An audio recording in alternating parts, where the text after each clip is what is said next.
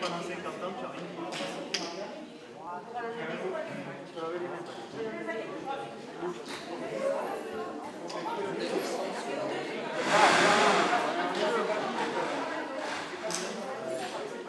C'est vachement bon. Ça fait plus de 25 ans. Oui.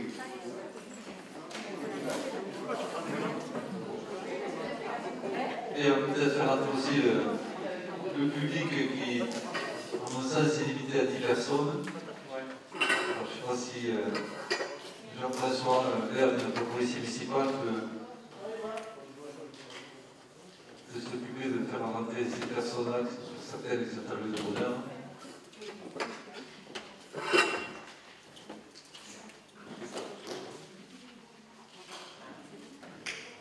Donc c'est une séance euh, voilà, exceptionnelle et, la première notre mandature. Donc euh, bien sûr, je vais souhaiter la, la bienvenue à, tous les conseillers municipaux élus euh, le soir du, du 15 mars. hein, euh, donc euh, de façon tout à fait démocratique. Donc bienvenue à vous tous, tous compris, les 29 élus municipaux. Je considère que l'on a installé le conseil municipal, puisqu'on a eu la possibilité de le faire à partir du 18. Et on a fait bien sûr les délais qui nous sont répartis, on a fait le plus tôt possible, pas samedi, pour certains qui, travaillent, mais le lundi suivant, pour permettre ensuite bien de travailler sereinement au niveau des commissions, comme nous voterons bien sûr tout à l'heure.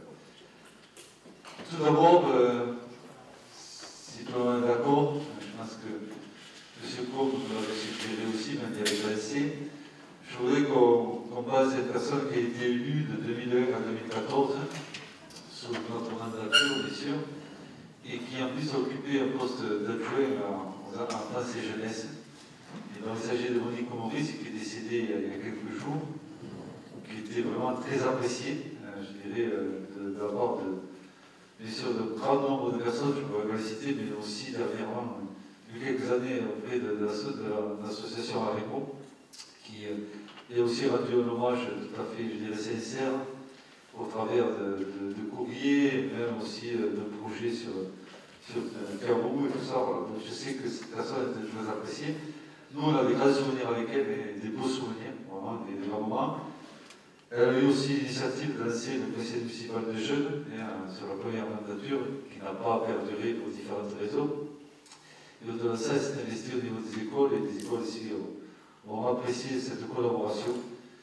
Et juste un petit croc au niveau des fleurs, ça c'est pas grave, ça a été, ça a été rétabli. Donc pour elle, dirais très amicale et sincère, je vous demande une, une minute silence, simplement.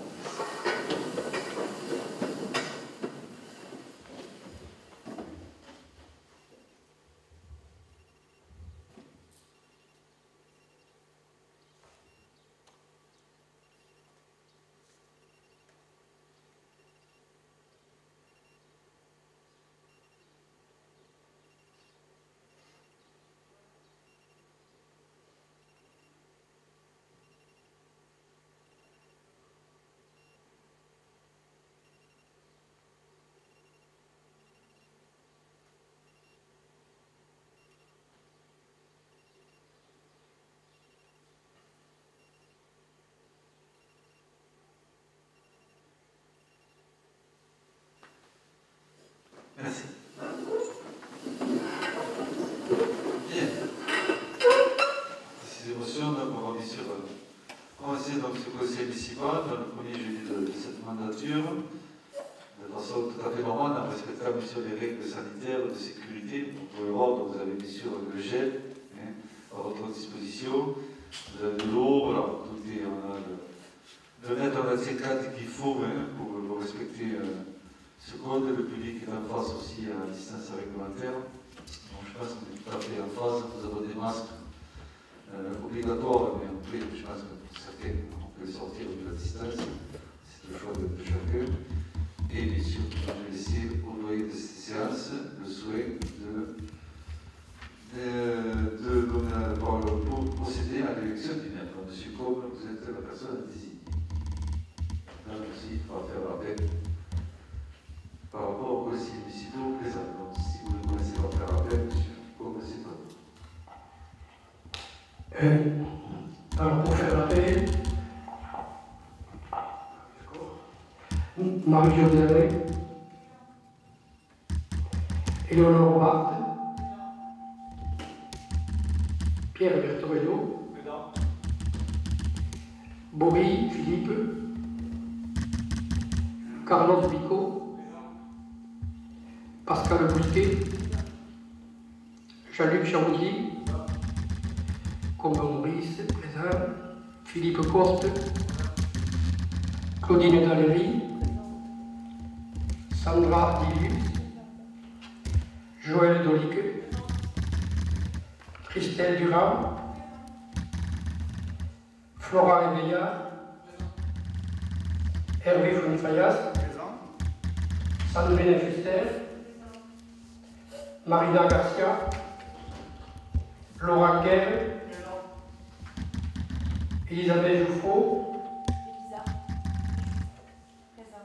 Elisa. Oui d'accord, pas grave. Fabienne Joyeux. Moury, Elisabeth Michaud. Philippe Présent. Romuald Alphonse, Didier Robert. Alain Roux. Arnaud Sigu. Véronique Vidalin, Valérie Wade. Merci. Est-ce que le quorum est atteint, puisque nous sommes au conseil complet Donc, Par contre, je demande parmi les conseillers, par contre, je demande parmi les conseillers présents qui souhaitent être secrétaire de séance. Oui. Monsieur Veillat. Monsieur Villard, d'accord, merci.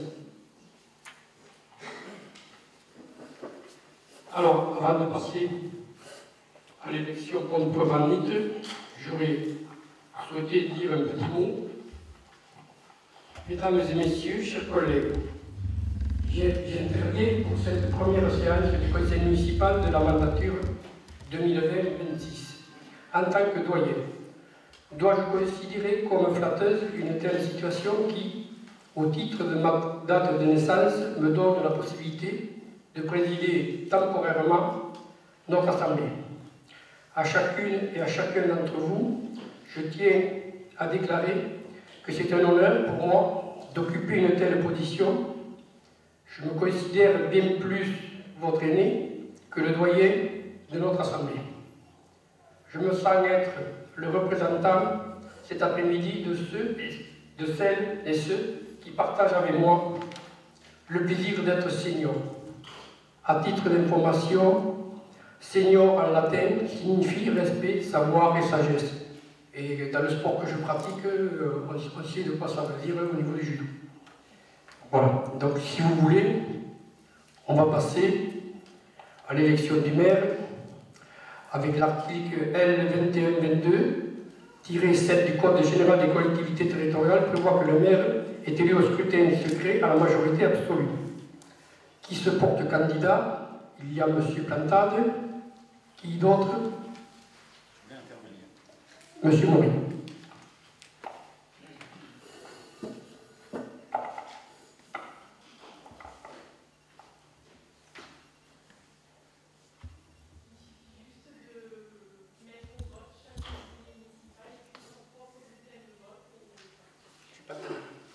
Je m'excuse, je n'ai pas entendu.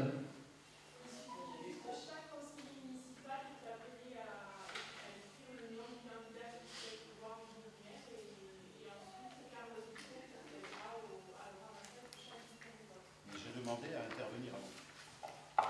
Je pense que ça va être quelque chose de possible. Euh, j'ai- je- je Elle répète. vous entend pas. Elle vous Oui. entend pas. Écoutez, monsieur Coury, monsieur Combe, on va vous passer le micro, voilà, pour que vous puissiez intervenir.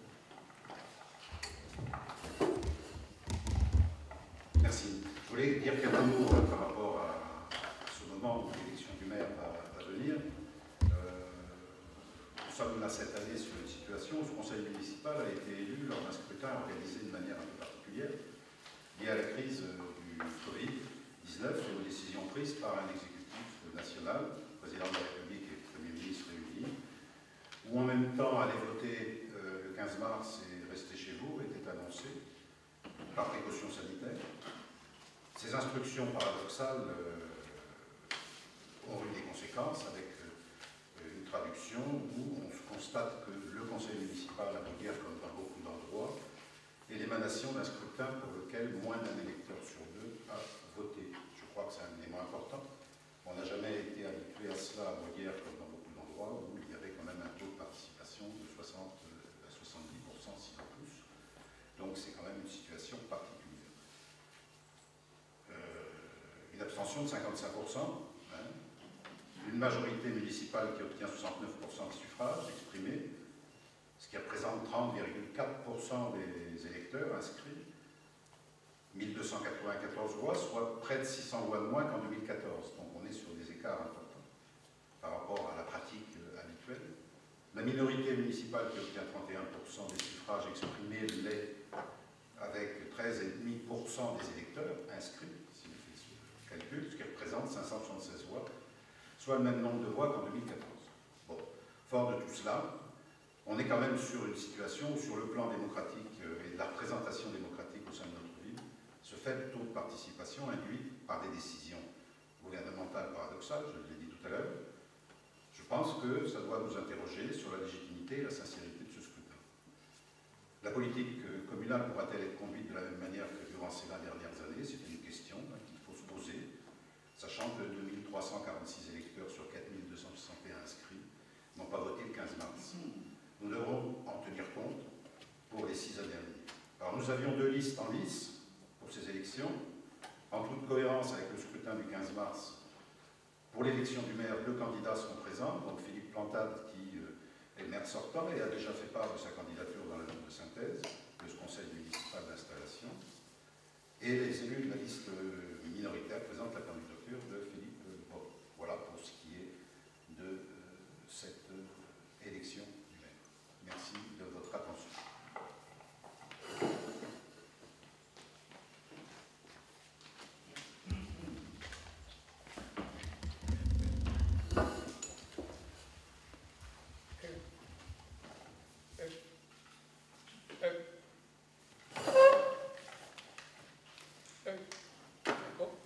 Donc, euh, vous inscrivez, vous devant vous, vous inscrivez le nom et on a deux minutes pour ramasser éventuellement euh, les papiers. Merci, Merci beaucoup.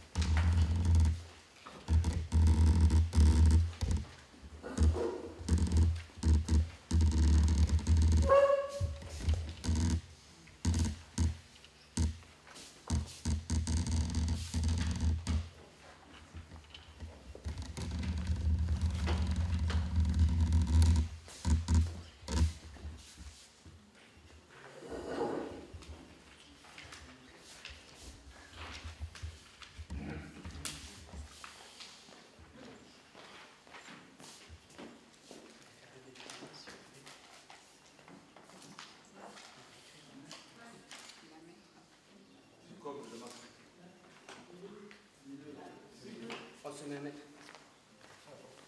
je vais le mettre.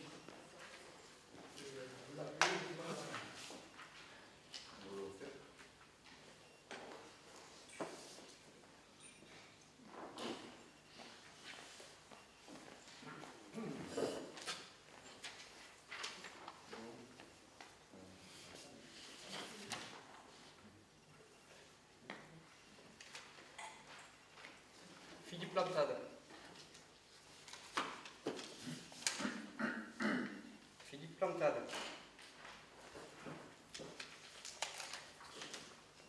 Philippe Plantade. Philippe Plantade. Philippe Plantade. Philippe Plantade. Plantade. Philippe Plantade. Philippe Plantade. Philippe Plantade. Philippe Plantade.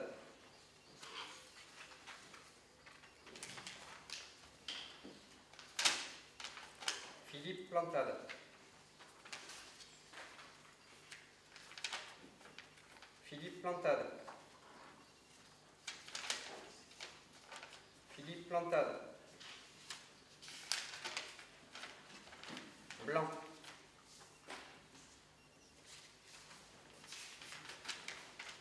Philippe Plantade. Philippe Plantade. Philippe Plantade. Philippe Plantade. Philippe Plantade. Philippe Plantade. Philippe Plantade. Philippe Plantade. Philippe Plantade. Philippe Bory. Philippe Bory. Philippe Bory. Philippe Plantade. Philippe Bory.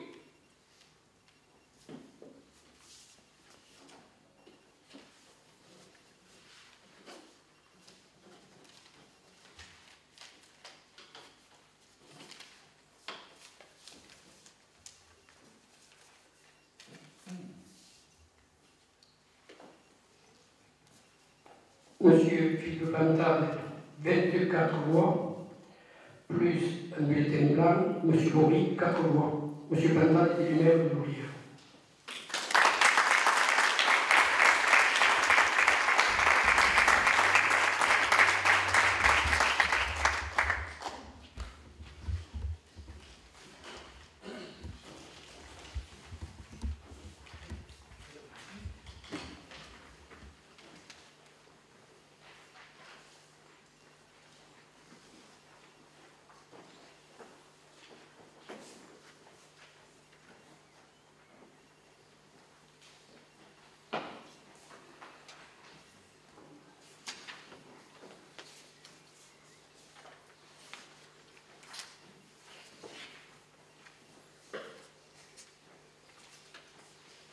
Un, deux.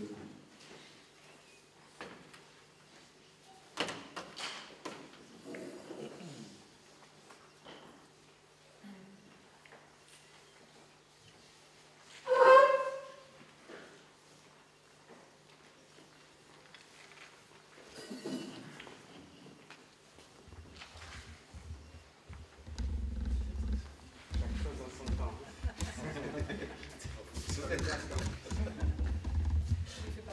C'est embrasse.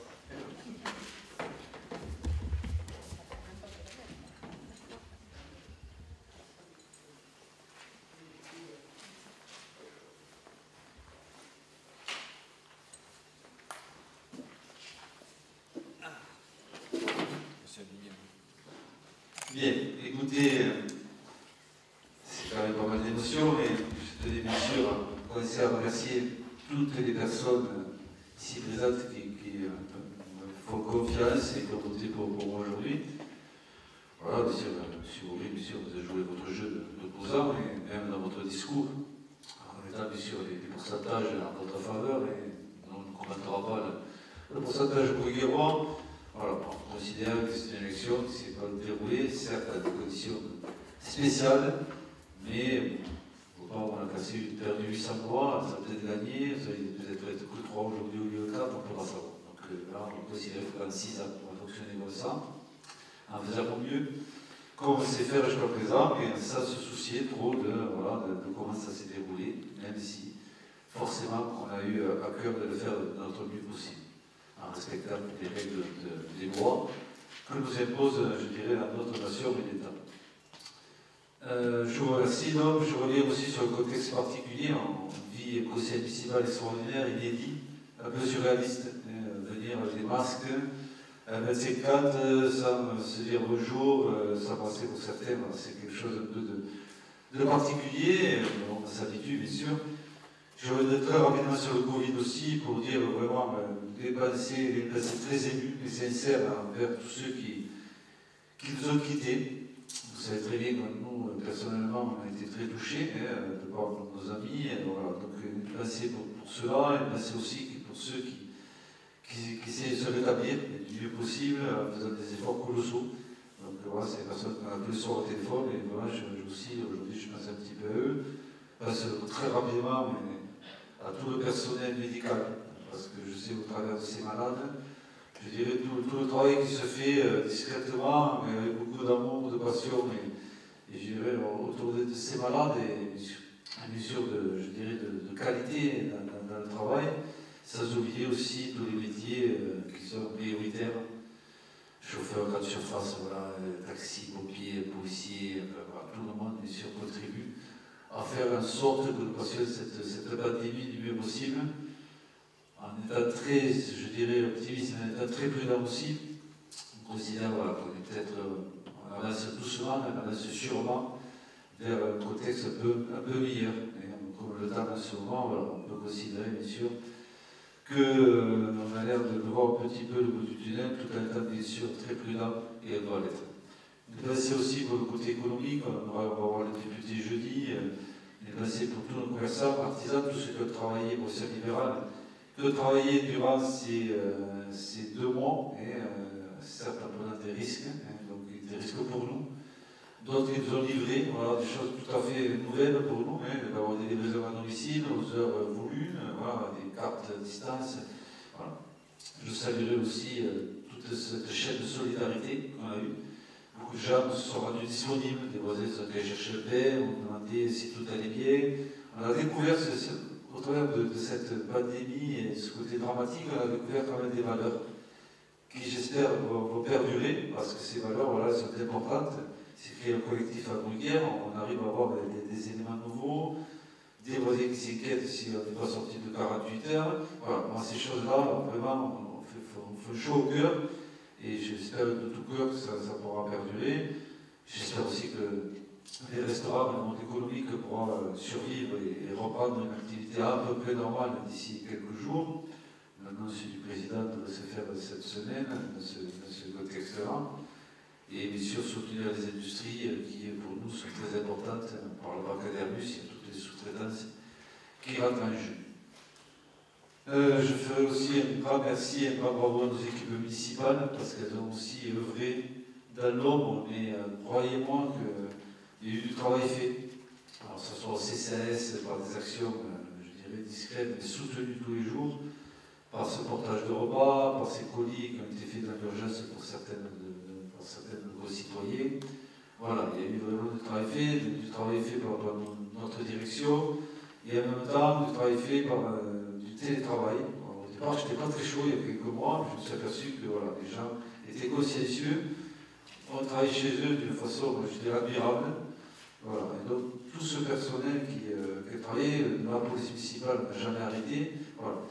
Tous ces personnes-là, tout le personnel, voilà, je suis vraiment très reconnaissant et très très fier d'être à la tête d'une ville avec un personnel de, cette qualité. Bien sûr, je vais remercier les élus anciens mais avec qui j'ai travaillé, euh, avec qui j'ai eu le plaisir depuis des années. Pierre et moi, on est les plus vieux de, cette assemblée. J'ai eu le plaisir aussi d'avoir M. Bourri dans l'audition en 2001, c'est ça, mais voilà, on va reprendre, hein, hein, des Philippe, c'est ça. Et tout ça pour dire que chaque fois, c'est des, nouveaux mandats, des nouvelles personnes, voilà, des, des tempéraments nouveaux, et c'est ce qui est bien, ce qui fait la, force de, notre, de le partage, voilà, et l'amitié, souvent, donc ce que je recherche hein, un petit peu. Donc, grand merci aux essais, et bien sûr, on souhaitait au nouveau euh, et de, s'investir comme, les autres, euh, en fonction de, de votre temps disponible, hein, en tant que municipal, pour les conseillers délégués, c'est un peu différent, pour les adjoints également. Mais je sais que c'est de la passion d'être élu, voilà, c'est une passion, on fait ça parce que on, le vit au quotidien, on le voit sur le, le côté familial, on le voit sur le côté professionnel, mais on le fait parce que ça, on a envie de faire, c'est dedans de nous et, et pour nous c'est c'est vraiment euh, presque naturel voilà, d'essayer de, faire au mieux euh, par rapport à l'intérêt général.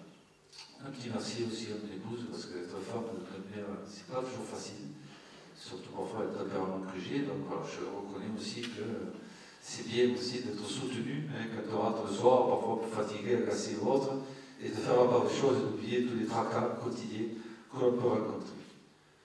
Euh, voilà, donc euh, je continue à dire qu'on est toujours motivé, hein, on l'est chaque fois, parce qu'on le vit au quotidien, on n'a jamais arrêté, depuis le 15 mars, le 16 octobre au travail, avec des projets dans la tête, bien dans ce contexte que vous savez, donc les projets n'ont pas avancé aussi bien qu'on le souhaitait, mais euh, la vie a repris très rapidement, hein, au travers de réunions, plus en visio, hein, on s'est adapté, on devait être très moderne, hein, même à 60 ans.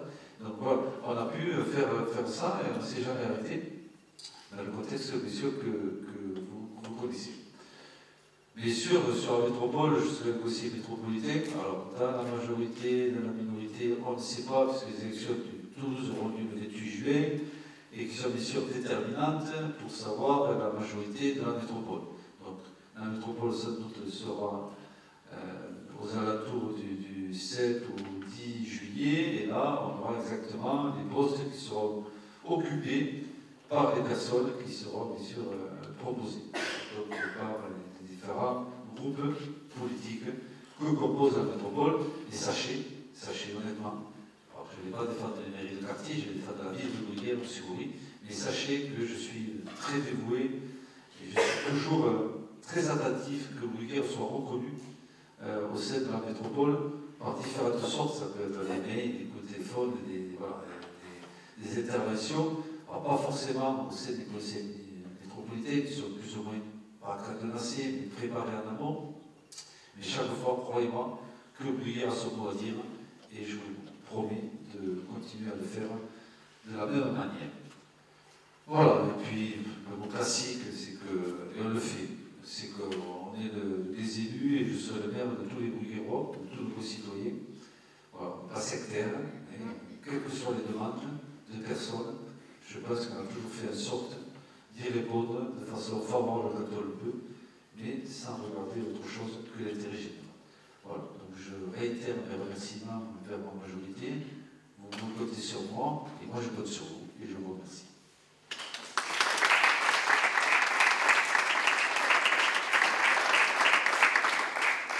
Bien, donc on va attaquer maintenant ce conseil municipal. Donc on va fixer le nombre d'adjoints. Voilà. Donc d'après les articles L2122 2 et 4 du CGCT, la création du nombre d'adjoints relève de la compétence du conseil municipal, en sachant que ce nombre doit excéder 30% de l'effectif légal du conseil municipal. Donc on est tenu, bien sûr, par un nombre et par une enveloppe. hein. Donc ça, tout le monde le sait, et c'est pas nouveau. Pour les communes dont la population est comprise entre 7 000 et 9 999 habitants, le nombre de conseillers municipaux est fixé à 29. Donc l'effectif maximum pour la commune est de 8 adjoints au maire, comme la dernière fois, afin d'assurer la bonne gestion communale et proposer au conseil municipal de fixer le nombre d'adjoints à 8, comme pour les deux dernières fois. Voilà, donc c'est une évaluation qui fixe le nombre. On doit voter. Je ne sais pas si vous avez des questions sur cette délibération. Monsieur Bourri. Monsieur Bourri.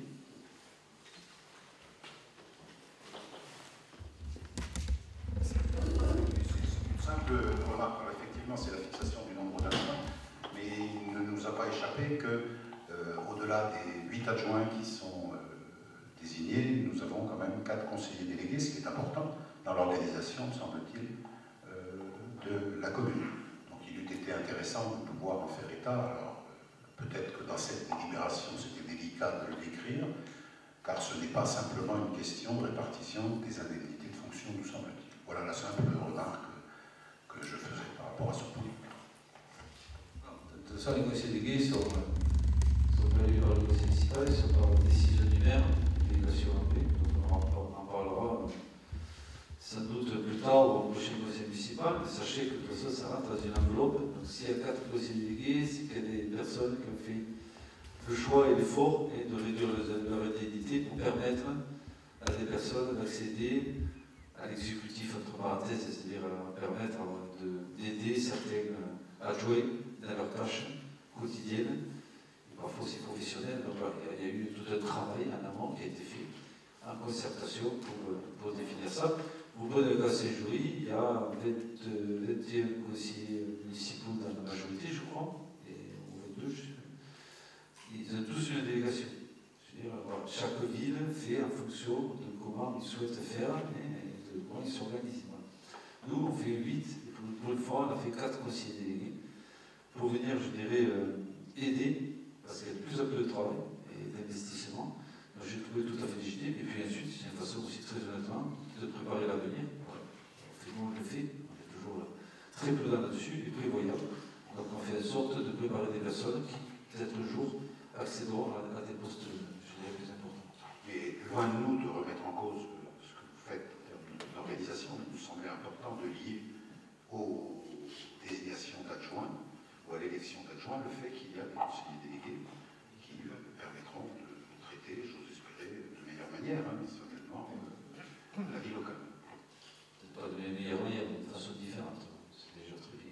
Bon, écoutez, de toute façon, il y aura l'organigramme. Vous savez, il y aura l'organigramme, si vous voulez, vous le souhaitez, euh, en temps et en heure dans lequel, bien sûr, figureront hein, les conseillers délégués, des élus municipaux, et ensuite, d'ici peu, quelques temps, vous ferez aussi le personnel ville qui sera euh, approuvé, j'espère, par notre CT et qui se réunira dans quelques semaines on pourra le faire. Voilà, donc je reviens au vote, on revient au conseil, pour essayer de garder le timing le plus juste possible, parce que bon, je proposerai aussi, pour ceux qui le souhaitent, de faire une photo à l'issue de, ce conseil municipal, ce qu'on fait de façon toujours, je dirais, classique, tout en sachant qu'on a tout préparé, donc euh, il y a des pastilles, des bidons, de façon gagner du temps, et garder la distance nécessaire pour faire une photo qui puisse avoir, je dirais, le- la main de, la sécurité. Donc je passe au vote cette première délibération. Qui vote contre Qui refuse de voter Des abstentions Alors, quatre abstentions. Et nous avons donc 25 personnes qui euh, votent. Donc c'est voté. Je dirais, euh, c'est accepté. Et je vous en remercie. Ensuite, on va passer à l'élection des adjoints. Donc voilà, on est passé plutôt sur un vote à bulletin secret. Dans les communes de 1000 habitants, et plus les adjoints sont élus au scrutin de liste, à la majorité absolue, sans panachage ni vote préférentiel. La liste doit être composée alternativement d'un candidat de chaque sexe. Donc euh, je demande qui est candidat pour mener la liste d'adjoints. Je suis candidat. Donc, nous avons M. Bertorello qui se propose de- d'être tête de liste, je dirais, de, de la liste des, des huit adjoints, avec sept autres personnes. Pas d'autres listes. Donc, dans les. M. Bertollo faire connaître le nom de la composition de votre liste. Oui, bien sûr, monsieur le maire. Je vous remercie. Donc, euh, je présente donc la liste Bertorello qui est composée donc de M. Bertorello, de Madame Joyeux, de M. Coste, de Madame Michaud, de M. Robert, de Madame Alain, de M. Sigu et de Madame Garcia. Donc vote à bulletin secret comme pour Monsieur le maire. Voilà, donc ce qu'on vous propose, c'est de mettre juste le nom, Bertorello suffit. Monsieur simplement par rapport à notre position au niveau de, la liste minoritaire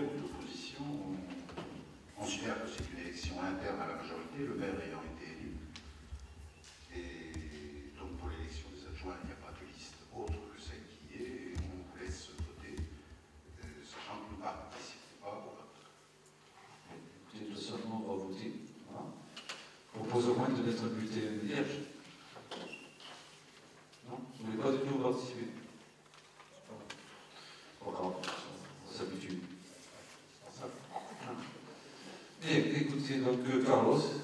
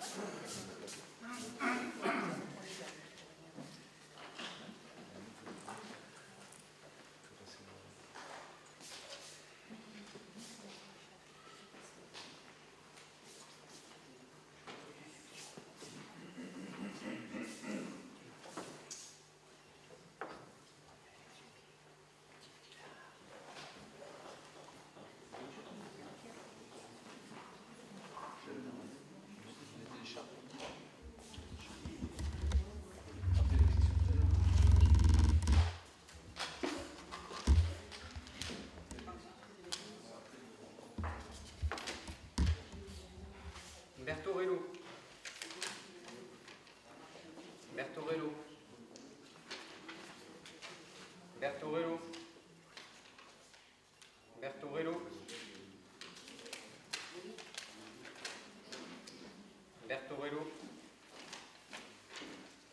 Bertorello. Bertorello.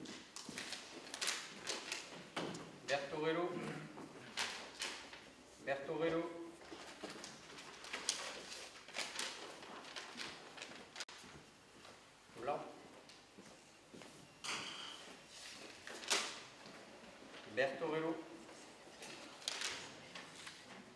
Berto Relou. Berto Relou.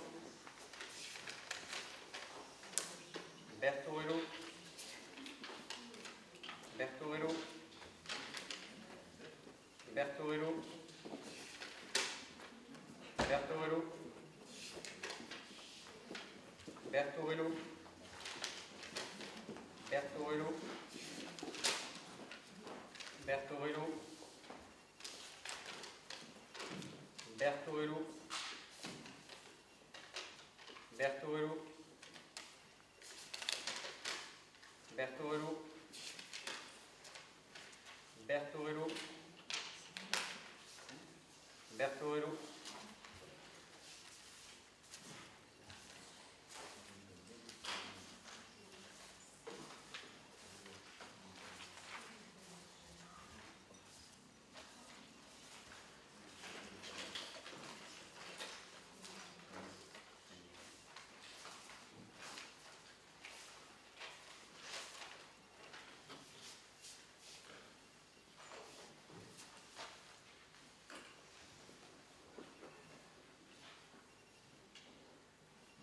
Bertorello 24 et un blanc.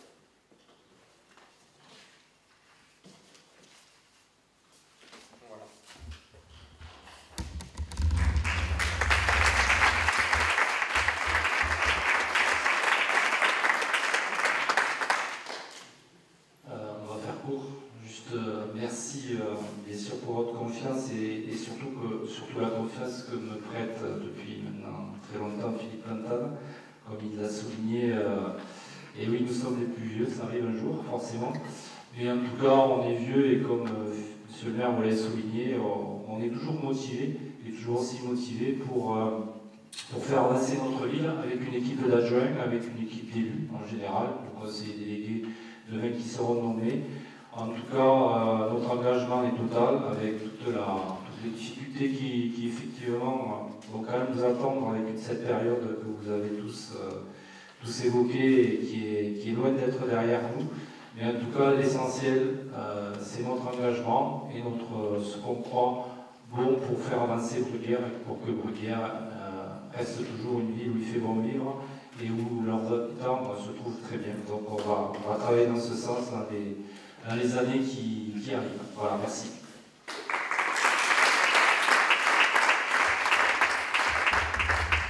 Donc la liste euh, Joyeux M. Coste, Mme Michaud, M. Robert, Mme Alain, M. Sigu, Mme Garcia donc sont élus. Euh, donc M. Berthaud, le premier adjoint, Mme Joyeux, deuxième adjoint. M. Coste, troisième adjoint au maire, Mme Michaud, quatrième adjoint, M. Robert, cinquième adjoint. Madame Alain, sixième adjoint au maire, M. Sigu, septième adjoint au maire, et Mme Marina Garcia, huitième adjoint au maire. Voilà, donc on va. Bulletin secret de sa part. On passe au vote, donc on passe au point suivant, êtes d'accord. Sur la lecture de la charte d'élu local, donc c'est une lecture, il n'y a pas de vote. La loi du 31 mars 2015 prévoit le nouveau maire donne lecture de la charte de l'élu local. Cette charte annonce l'élu local exerce ses fonctions avec impartialité, diligence et dignité, probité et intégrité. L'exercice mandat, l'élu local poursuit le seul intérêt général, l'exclusion de tout intérêt qui soit personnel, directement ou indirectement, ou tout autre intérêt particulier. L'élu local veille à prévenir ou à se faire cesser immédiatement tout conflit d'intérêts. Lorsque ses intérêts personnels sont en cause dans les affaires soumises à l'organe délibérant dont il est membre, l'élu local s'engage à les faire connaître avant le début et le vote. L'élu local s'engage à ne pas utiliser les ressources et les moyens mis à pour l'exercice de son mandat ou de ses fonctions à d'autres fins. Dans l'exercice de ses fonctions, l'élu local s'abstient de prendre des mesures lui accordant un avantage personnel ou professionnel futur après la cession, cessation pardon, de son mandat et de ses fonctions. L'élu local participe avec assiduité aux réunions de l'organe délibérant et des instances au sein desquelles il a été désigné. Le dernier l'issue du suffrage universel d'élu local et, et reste responsable de ses actes pour la durée de son mandat devant l'ensemble des citoyens de la collectivité territoriale à qui il rend compte des actes et décisions pris dans le cadre de ses fonctions. Voilà, donc ça c'est la lecture, parce qu'il n'y a pas trop de débat là-dessus. Concernant la charte de l'élu local, qui bien sûr sera lue par tous les conseils municipaux, nous passons au point suivant, c'est là les lectures et il y vote. C'est les indemnités de fonction. Les assemblées délibérantes sont tenues de fixer les indemnités de fonction dans la limite des taux maximaux prévus par la loi pour chaque catégorie d'élus. La note de synthèse transmise aux conseillers municipaux reprend l'ensemble des taux maximaux pour la commune, toujours 3005 à 999 habitants. Euh, L'indemnité de fonction du maire est fixée à 55% de l'indice brut terminal de, l'échelle indiciaire de la fonction publique. Les indemnités accordées aux adjoints au maire sont fixées à 22% du même indice. Le dépassement de ce seuil est possible dès lors que le mandat total des indemnités maximales susceptibles d'être allouées au maire et adjoints ne sont, ne sont pas dépassés. Par ailleurs, il est possible d'allouer des indemnités de fonction aux conseillers municipaux auxquels le maire délègue une partie de ses fonctions. Cette indemnité doit rester dans le cadre de l'enveloppe budgétaire consacrée au maire et aux adjoints ayant reçu délégation. Une indemnité de 5% sera proposée pour ces conseillers désignés par le maire. Dans la proposition que je vous fais, M. Philippe Latta de maire à 55%, M. Pierre Bertolio, premier adjoint, à 24%, Madame Fabrice Joyeux, deuxième adjointe au maire, à 22%. Et ensuite, on retrouve euh, 5 ou 6 adjoints, 5 adjoints, M. Philippe Coste, troisième adjoint à 18%, Madame Elisabeth Michaud, 4e adjoint à 18. Monsieur Didier Robert, 5e adjoint à 18. Madame Marie-Jo Allen, 6e adjointe à 18. Monsieur Arnaud Sigu, 7e adjoint à 18. Madame Marina Garcia, 8e adjoint à 15. Et nous avons 4 conseillers délégués qui terminent à 7%. Et simplement pour vos informations aussi, on a aussi la possibilité peut-être d'avoir un sixième délégué qui va être créé durant cette mandature, puisque l'enveloppe n'est pas tout à fait, je dirais, dépassée. Et il nous reste encore un petit matelas pour euh, éventuellement, si vous le souhaitez, si vous le votez, permettre un sixième conseiller délégué euh, parmi vous euh, pour être désigné les mois ou les années qui.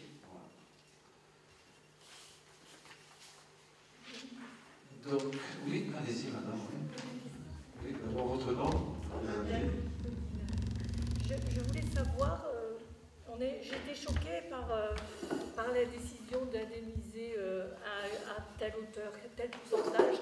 Pourquoi tous les conseillers municipaux ne sont pas rémunérés à la même hauteur?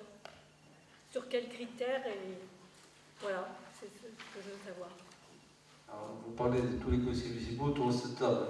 Ben oui, ceux qui viennent d'être, que vous avez. Tout simplement parce que voilà, on a,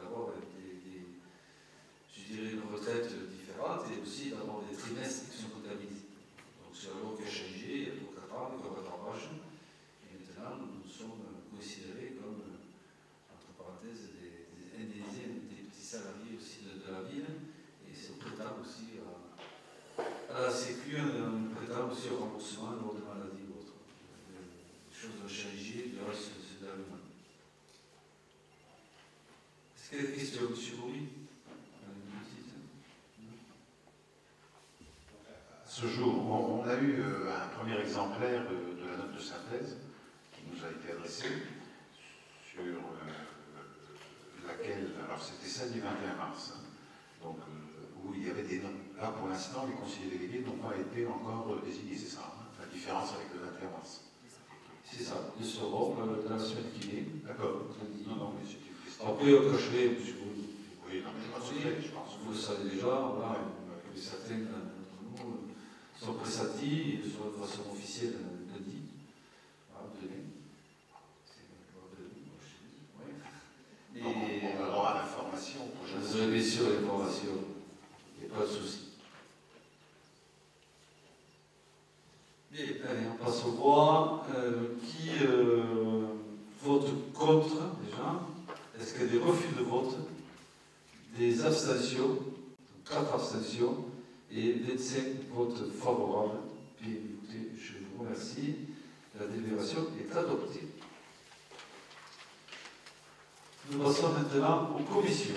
Voilà, pour ça, c'est bien de passer aussi un certain nombre de délibérations qui nous permettront, et dès, de, dès de commencer à travailler, d'installer les commissions, parce que je, je installer les commissions une par une, et je vais le faire par visio, donc ça me permet aussi de pouvoir le faire de façon tout à fait légale.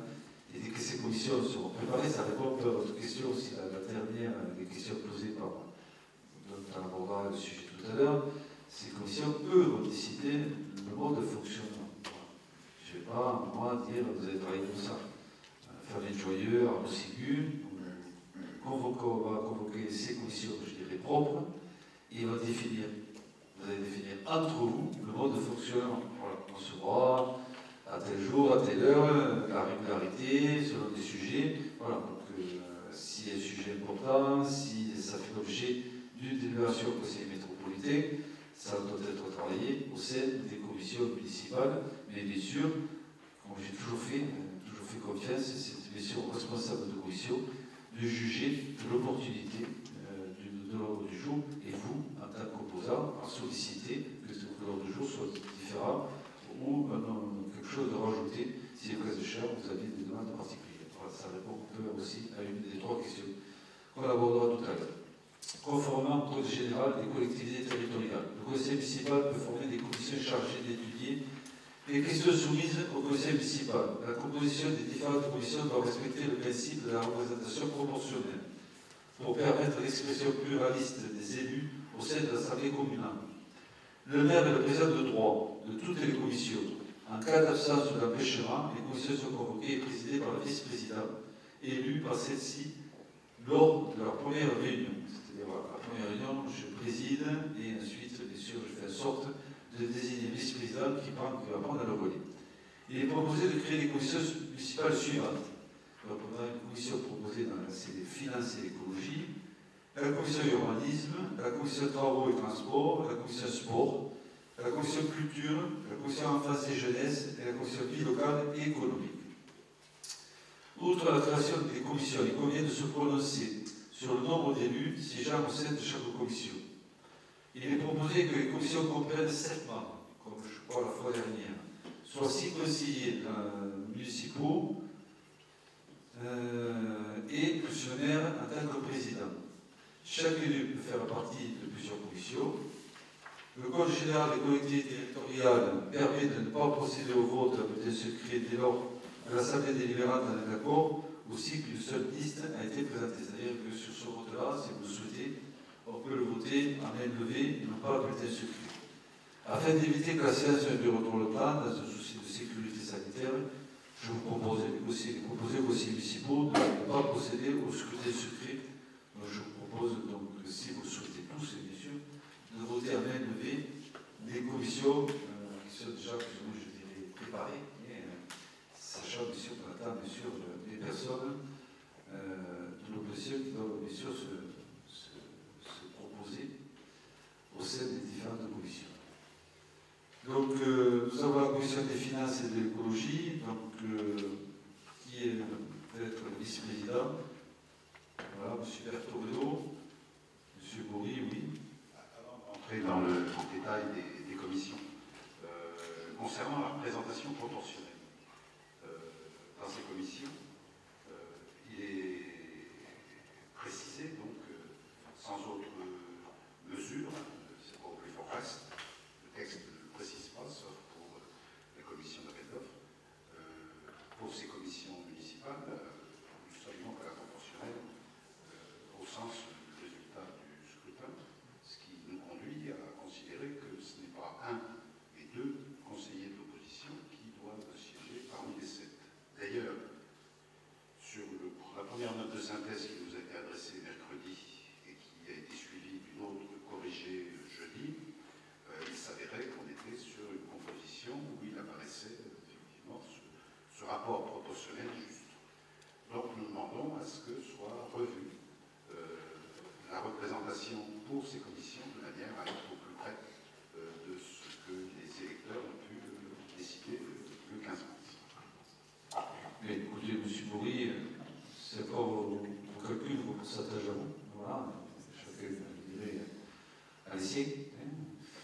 considère, bon, je confie du service, la dernière faute était de 7 avec euh, une, un membre de l'opposition et 6 de, de la majorité euh, municipale. Euh, le score euh, est pratiquement équivalent et je pense très honnêtement que la répartition que vous avez proposée est juste et légale. Donc, euh, je détiens la délibération à l'État. Une question euh, empirique subjective, hein, c'est quand on fait le calcul, euh, on se retrouve avec euh, plus de deux sièges sur sept lorsqu'on est à 31%. Voilà. Il suffit de prendre sa machine à calculer et elle vous donne le résultat. C'est Peut-être notre directrice elle peut dire un mot sur, le- sur le sujet. parce que bon, Alors d'abord, pour revenir sur le premier envoi, il y a donc l'attention de ma part. Euh, et ensuite, on revient sur la représentation proportionnelle qui permet à chaque, euh, qui permet à la, la liste majoritaire d'obtenir cinq sièges et un pour l'opposition.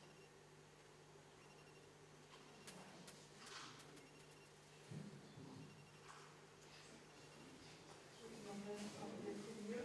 Euh, donc euh, oui, les calculs permettent de dire que les cinq sièges euh, sont attribués à la liste de M.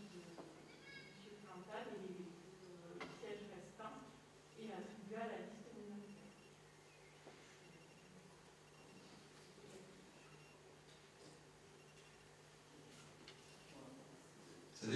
C'est-à-dire qu'il y a six conseillers municipaux au total. D'accord Le maire est en plus. C'est ça un peu. Oui, c'est ça. Voilà, donc c'est pas de commission de 7. Le D'accord maire ne fait pas partie. Moi, moi je, je, si vous voulez, je vais faire en sorte dans la semaine de déléguer. Je vais faire la première réunion que j'ai l'habitude de faire, avec les échéants.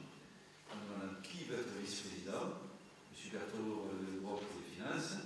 Je vais dire M. Berthaud, vice-président de la commission. Et après, moi, je me retire. Donc, il revient à 6. Dans les 6, on a la proportion légale, c'est 5 pour la majorité, 1 pour l'opposition. Donc, euh, vous pouvez le retourner comme vous voulez à 31% et à 69 on retombera toujours sur les mêmes pourcentages. Comme la dernière. Oui, si on considère qu'il y. Bon, c'est vrai que la première version qui avait été envoyée de la note de synthèse euh, paraissait euh, juste et permettait effectivement à ce qu'il y ait une vie euh, des commissions différente de ce que vous avez l'habitude de, de faire depuis plusieurs mandats. Par contre, si on on avait fait une commission à 8, oui, là, on serait à fin de. Bien sûr. Bon, alors, je ne sais pas ce que le texte de loi dit par rapport à la comptabilité, ça n'est pas écrit nulle part, la comptabilité effective du maire, qui est un conseiller municipal aussi, il rentre dans les sept, si on passe, euh, on part de sept, ça fait deux conseillers pour l'opposition, eu égard au résultat du scrutin. Bon, nous faisons euh, cette demande parce qu'elle nous paraît juste, maintenant, euh, il est évident que la majorité municipale prendra les décisions qui sont celles qu'elle propose. C'est comme ça que les choses se font. Mais on a quand même cette préoccupation d'une sous-représentation euh, des élus de l'opposition. À 6, on est à 1,86 lorsqu'on fait le ratio. Et que de 1. Bien, écoutez, moi, je détiens la délibération en état, c'est un contrôle d'égalité. Vous savez très bien, il y a il y a le préfet, vous avez déjà appelé plusieurs fois, donc voilà. Donc, euh, on va faire en sorte de, de passer au vote de cette délibération. On a pris acte de, votre demande, et puis laisser euh, les services juridiques voir après le bien fondé de cette, de. Donc je la passe au vote, qui vote contre, qui refuse de voter, qui s'abstient. Pas d'abstention, donc elle est votée à l'unanimité. Très bien, est adoptée. Excusez-nous, avant ce vote que vous avez euh, fait activement, euh, on avait deux, trois autres points qui ne concernent pas la représentation proportionnelle, mais la nature des commissions. Hein, il nous semblait important de pouvoir, euh, dans ce moment d'installation du conseil municipal, faire en sorte de, faire le point. Euh, il y a une commission euh, qui, depuis euh, 2015, doit être créée, qui est la commission communale pour l'accessibilité. Alors j'ai cru voir dans le règlement intérieur actuel qu'elle apparaissait dans ce règlement intérieur. Donc j'interroge Conseil euh, pour savoir si cette commission euh, ne peut pas être aussi, euh, ou faire l'objet soit aujourd'hui, soit à un autre Conseil, d'une délibération qui permettra de l'installer non pas par le biais du règlement intérieur, mais en bonne et due forme, puisque c'est la seule qui est obligatoire de par les textes. Voilà. Donc il nous semblait important de pouvoir le pointer. Ça, c'est pour cette commission qui. Et quant au domaine de la vie locale que l'on avait vu ou qui existait auparavant, euh, on constate que la petite enfance qui était associée à l'enfance et la jeunesse n'apparaît plus en tant que telle sur la commission enfance-jeunesse. Pour quelle raison? Que le volet de la sécurité qui était associé au sport, même si on peut s'interroger sur euh, le lien sport-sécurité euh, au sens sécurité en général et risque majeur. ces deux domaines, petite enfance d'une part et sécurité d'autre part, ont disparu. Alors, sont-ils, je dirais, sous-entendus dans ces commissions? C'est une première question qui nous paraît importante, de savoir si dans ces commissions seront traités ces sujets ou s'il est envisagé une autre organisation pour concerter au niveau du conseil municipal sur ces deux thématiques. Je ne comprends pas, c'est comme vous dites, euh, commission en face et petite en face. C'est. Euh, alors je ne sais plus si c'est d'un mars, mais moi, il me semble, on voyait apparaître la petite enfance. Ce qui est intéressant sur la problématique de la petite enfance et de l'enfance n'est pas nécessairement la même avec les mêmes tenants et les aboutissants. Et donc, euh, c'est un détail. Hein. Face, euh, beaucoup par bon sens aux écoles, au carré, à la crèche, euh, au centre d'espace jeune. Ça inclut la petite enfance. Ça inclut la petite enfance. Et ensuite, pour vous répondre très franchement, vous savez qu'il a négocié délégués, donc dans la semaine, vous aurez euh, le nombre des délégations qui sont celles de négocier délégués. Et ensuite, il y aura des délégations aussi qui seront rajoutées à des, à des adjoints, comme la sécurité et l'accessibilité, pour simplement raison qu'un adjoint, ici, ici même, là, a fait une, une visio euh, cet après-midi sur l'accessibilité handicapée euh, voilà, avec euh, la métropole.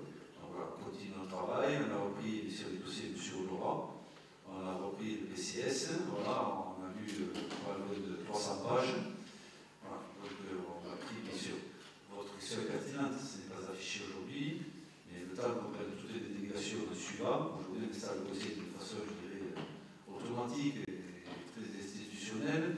De la semaine, bien sûr, complément sera, sera fait par délégation du maire et par décision. Et ce moment-là, vous aurez sur les décisions les, les, le compte rendu au prochain municipal, de façon, je dirais, euh, on communiquera dans, la semaine. Donc ensuite, on pourra aussi en rediscuter.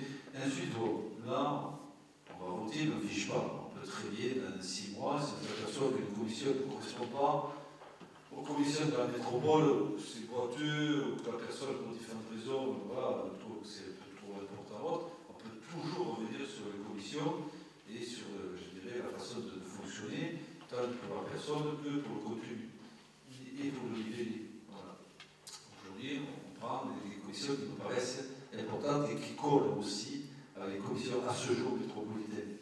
Mais en fonction de la prochaine base ou des choix, il y a peut-être des commissions qui seront aussi à redéfinir ou à créer. Donc voilà. Donc pour l'instant, nous faisons, je dirais, le, choix, avéré, de coller à ce qui existe en fonction un petit peu de, la sensibilité de chacun hein, et de l'expérience que peut amener chaque personne.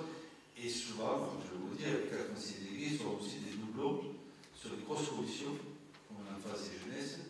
Et après, ce sera à eux d'établir aussi le, le, rôle de chacun, euh, peut-être le deuxième groupe scolaire, avec euh, transport scolaire. Voilà. Il y a tout ce travail qui ne pourra être fait qu'à partir du moment où on a fixé des conditions. Voilà, je ne peux pas vous le dire plus, c'est quand ici présents qui seront les mieux placés pour euh, expliquer le fonctionnement propre. Merci pour ces informations qui n'apparaissent pas euh, de manière évidente hein, dans les propositions que vous faites.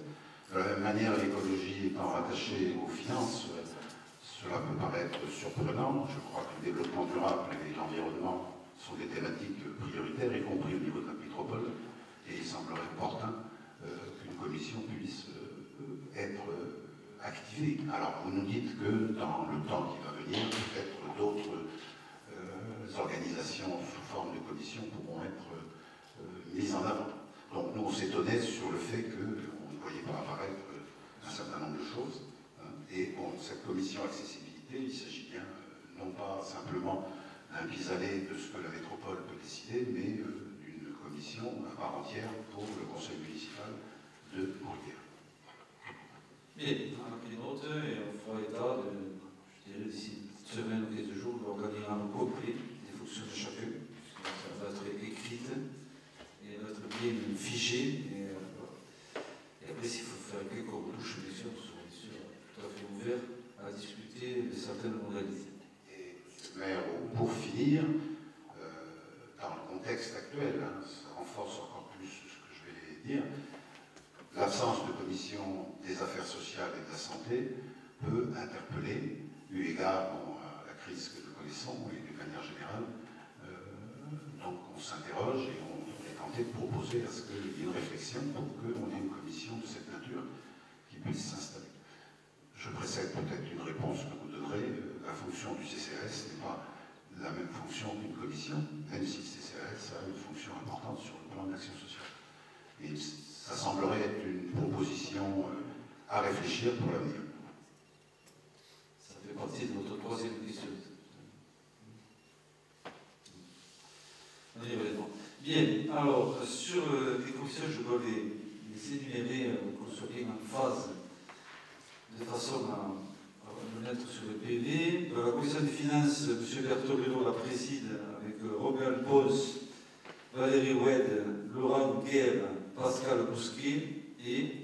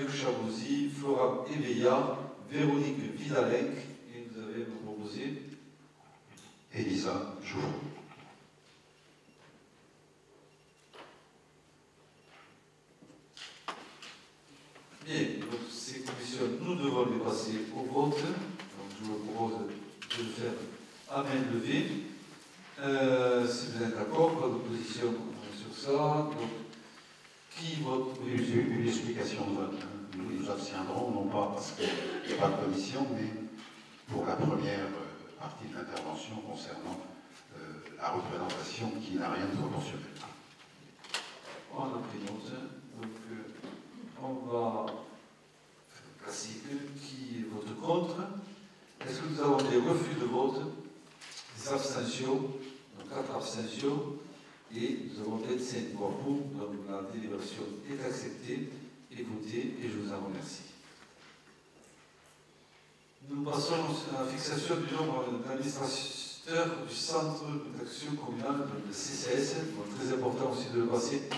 Pour la simple et bonne raison qu'on doit fonctionner au niveau des aides, du portage et tout ça, donc il est important qu'on ait un nouveau bureau qui puisse se réunir d'ici une petite semaine, avec des délais légaux pour, pour les convoquer et recevoir les, les documents nécessaires. Donc il relève de la compétence du conseil municipal de fixer le nombre d'administrateurs siégeant au CCS. Je rappelle, le CCS est un organisme à part de la ville, hein, sachant que si le CCS n'a pas les moyens, c'est à la ville de combler le déficit, on a cette obligation. Le CCS a un président, a euh, des, euh, des élus hein, qui ne sont pas rémunérés, je préfère le dire, voilà, c'est du bénévolat, mais ça fait partie des fonctions des élus. Euh, il est proposé de fixer le nombre d'administrateurs à 15, décomposé comme suit. Donc le maire siège tant que président de droit du conseil d'administration du CCS. Nous avons 7 membres élus au sein du conseil municipal. Et nous avons sept membres nommés par le maire qui doivent participer à des actions de prévention, d'animation et de développement social menées dans la commune. Donc ce sont des personnes qui sont portées par des associations comme le Don du Sang, comme le Secours catholique ou populaire, euh, d'associations euh, qui,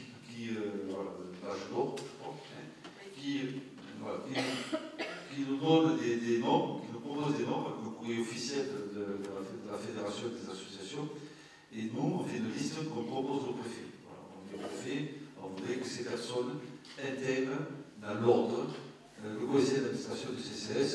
Et le préfet, jusqu'à présent, a les premiers noms que la ville proposait. Et ensuite, fort de sept personnes que nous voterons euh, tout de suite, on a la possibilité de convoquer le bureau du CCS dans les 5 ou 6 jours légaux qu'il nous faut pour convoquer. Euh, donc, euh, tout simplement, ça c'est le nombre, donc on fait, la lecture, on va faire le vote du nombre de 7, 7 plus le président, contre 15 et un nombre bon, on ne sait jamais s'il y avait un vote qui serait équilibré, président a bien sûr la possibilité de pêcher pour euh, le côté ou l'autre de la délibération. Monsieur Bourri. Alors, toujours par rapport à la thématique sur la représentation proportionnelle, là, il y a sept conseillers municipaux. Il n'est écrit nulle part qu'il s'agit d'une proportionnelle plus fort reste. Donc là, à partir de 7, nous arrivons à la nécessité d'avoir deux conseillers de l'opposition siégeant au CCS. Donc euh, il serait important de modifier la proposition initiale faite dans cette délibération. Écoutez, ce que je vous propose là, euh, je pense que les services ont travaillé, après j'attends hein,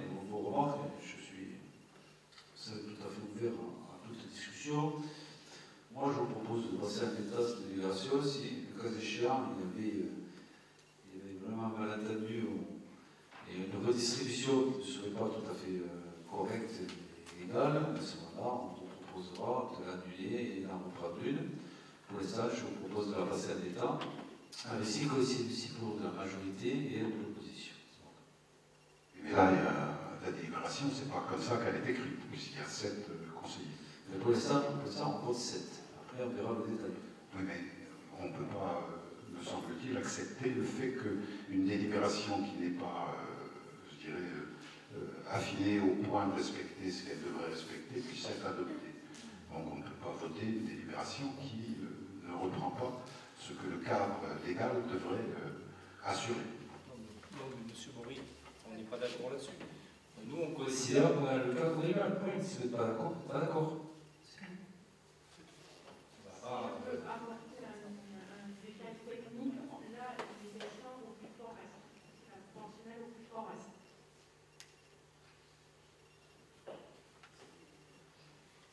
Avec un paradoxe entre ce que dit le code de- des collectivités territoriales et le code de l'action sociale.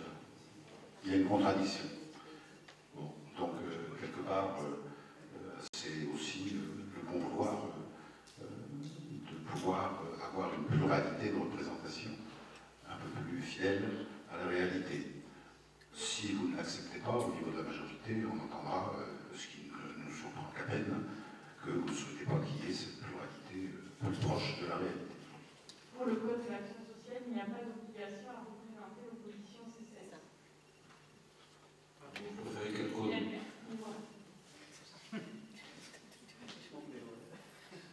Bien. On va préférer ce code, on va considérer que c'est le plus, euh, le plus juste, donc euh, voilà. Donc je passe au droit. Le fait d'avoir les 15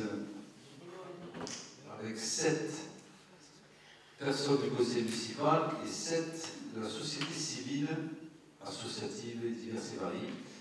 Donc je au droit qui vote contre, qui refuse de voter, qui s'abstient, 4 abstentions.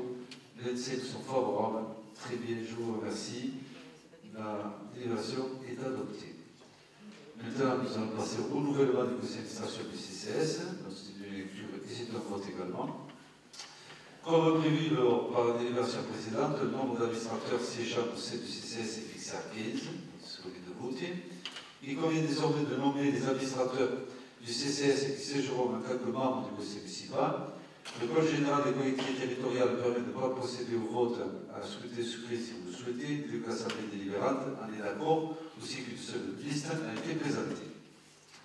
Afin d'éviter que la séance ne dure trop longtemps, dans un souci de sécurité sanitaire, ça a été tout à l'heure, il est proposé aux conseillers municipaux de ne pas procéder au scrutin secret. Il est demandé aux élus souhaitant se positionner de laver la main pour se faire connaître.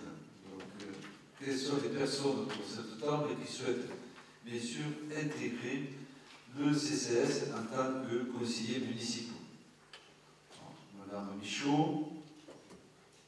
Alors, nous avons Sandra Dillus, Fabien Joyeux, euh, nous avons M. Ébilla, Christelle Durand, il manque une personne et c'est Joël Dolic. Bien. Et nous avons bien sûr la possibilité d'avoir M. Bourri, un de vos quatre, pour compléter cette liste. Oui, la, la liste apparaît sur la délibération. donc. Oui, il faut- il faut que les gens se prononcent, qu'ils soient au moins d'accord, c'est tout. C'est possible. Je suis la personne de l'opposition qui euh, siégera au CCS. M. Bourri, vous devez compléter les sept conseillers municipaux qui feront partie du prochain conseil du CCS en tant que conseiller municipal. Donc, on va le passer au vote. Qui vote contre? Est-ce qu'il y a des refus de vote Des abstentions? Bien, contre vous ou contre si vous-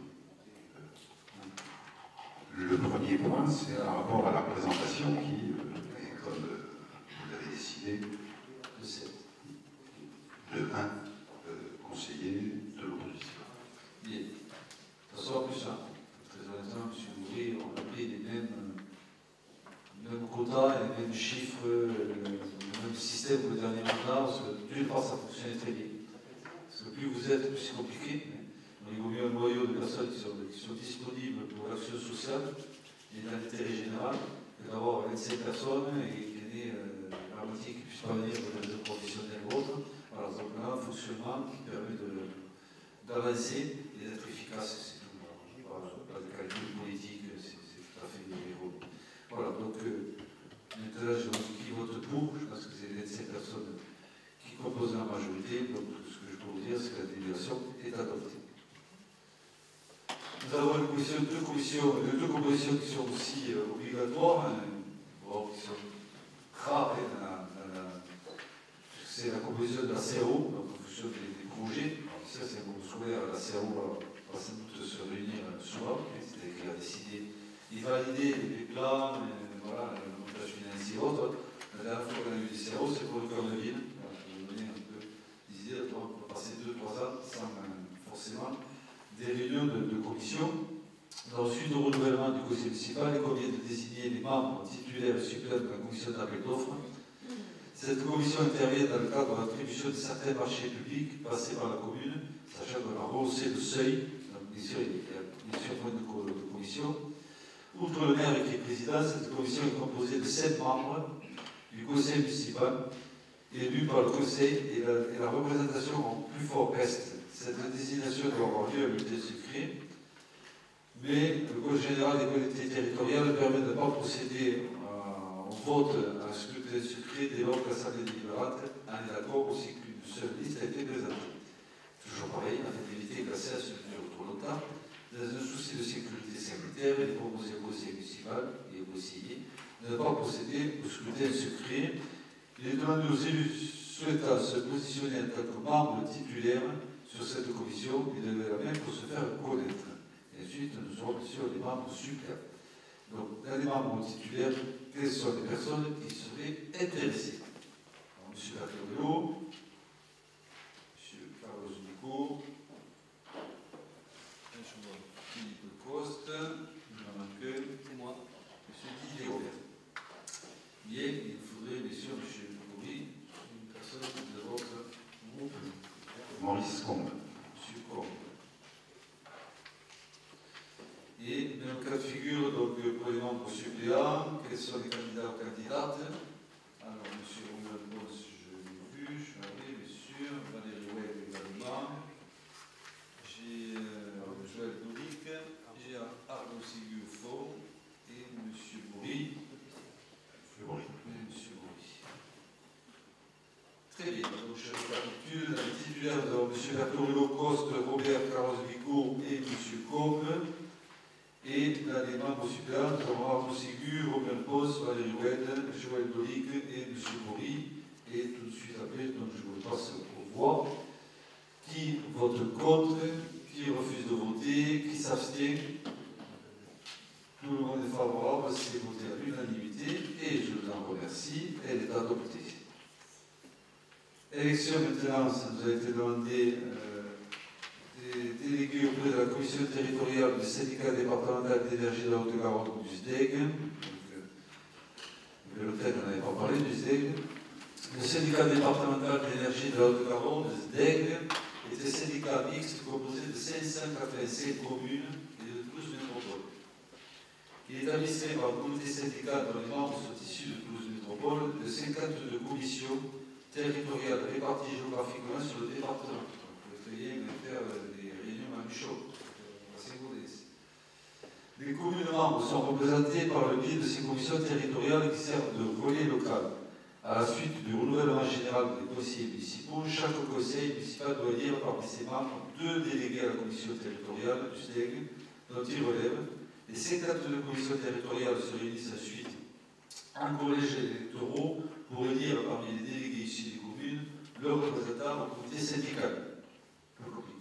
Parce que là, on va monter pour guerre deux aujourd'hui, mais nous aurons par la métropole, connais, 4 ou 7 conseillers municipaux de Bruguière qui seront élus par la métropole. Donc Bruguière sera représentée par 7 ou 8 personnes au syndicat sur les 600.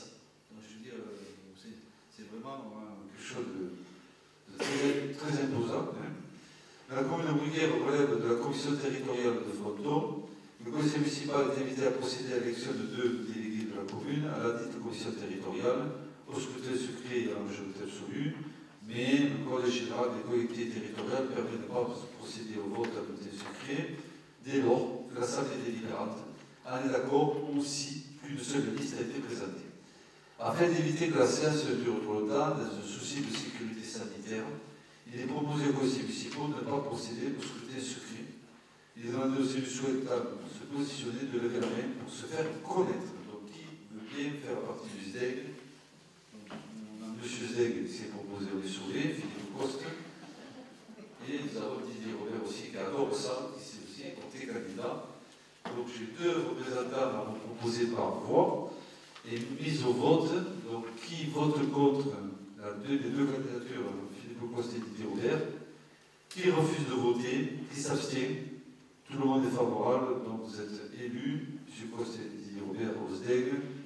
Durant cette mandature et la délibération est adoptée.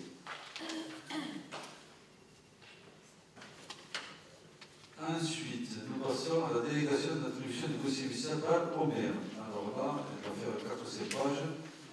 Est-ce que vous m'autorisez euh, à vous la laisser dire et à poser quelques questions ou est-ce que vous voulez que je vous lise les, 5 ou 6 pages qui ne vont pas de cadre?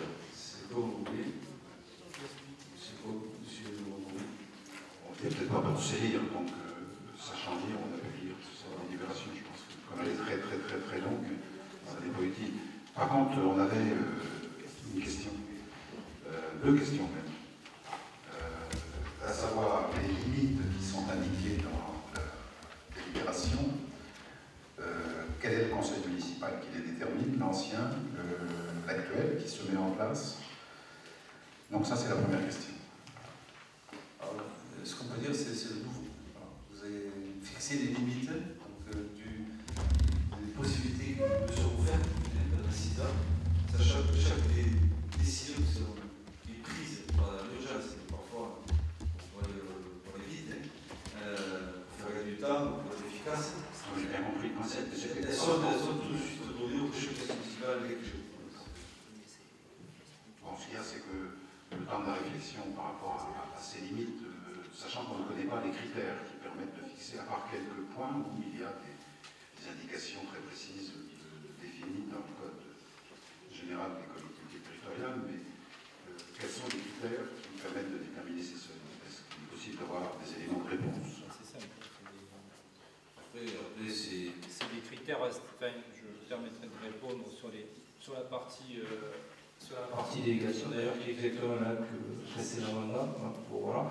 On considère que par exemple tous ces critères permettent aujourd'hui à une collectivité de fonctionner euh, de façon, je dirais, normale et de répondre aux, questions de fonctionnement euh, quotidien. euh, par rapport à ça, il y a pas, si vous prenez toutes les autres collectivités, elles ont le, même type de, délibération. Il n'y a pas, aujourd'hui, on n'a pas de super pouvoir du maire.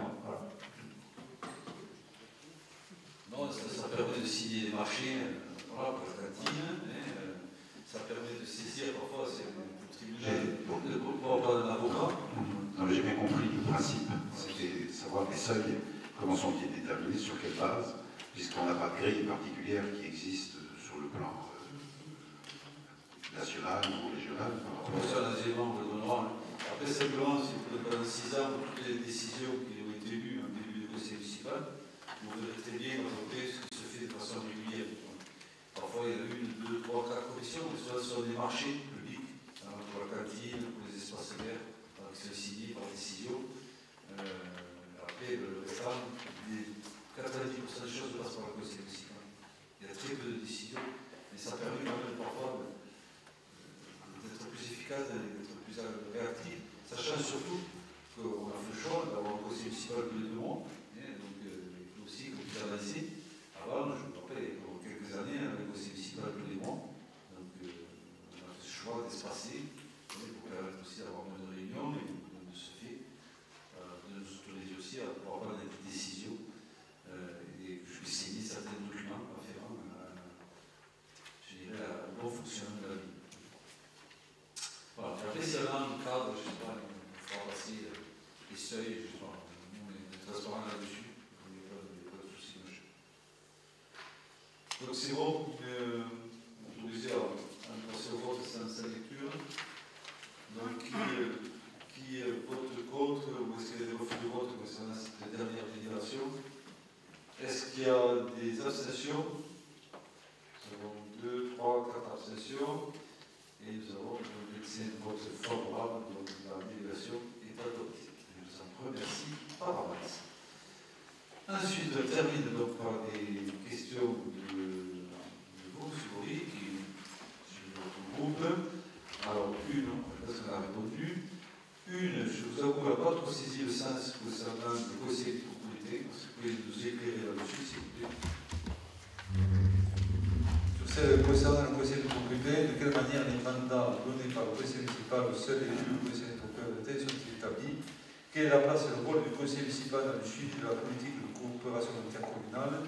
Comment est-il prévu d'effectuer le- la nécessaire et régulière information de l'adoption d'une position par le conseil municipal relative aux délibérations et projets à venir concernant le conseil de Toulouse Métropole et la ville de Bruyères Alors la, question pour la première partie, est relativement simple. Il n'y a qu'un représentant de la ville de Bruyères euh, à la métropole.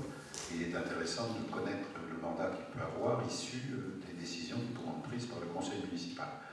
Euh, de manière, sur des questions qui sont importantes, je prendrai pour exemple un vote qui va privilégier un certain nombre de réalisations en priorisant la troisième ligne de métro plutôt que le une que l'on attend depuis presque dix ans, effectivement, euh, que l'on puisse, euh, en amont d'un vote qui peut avoir lieu euh, à la métropole, au conseil métropolitain, la possibilité euh, de se positionner sur ce sujet et d'en débattre, puisque le conseil municipal, je le rappelle, je le disais déjà en 2001, vous vous en souvenez, c'est un lieu de délibération.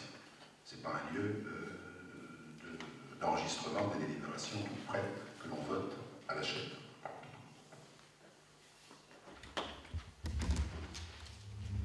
Euh,